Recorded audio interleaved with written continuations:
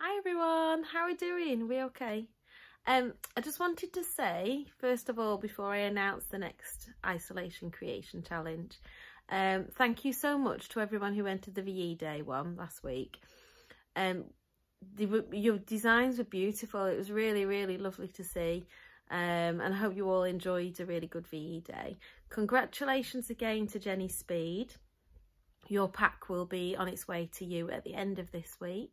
So this week, um, I want to see your creations that you are making for someone else. So maybe you've got a friend or a family member whose birthday is coming up. Um, you might be drawing them a picture, making them a card, making them some cakes. Maybe you're doing something for key workers and you're busy making something um, that's going to be useful for key workers or just to say thank you.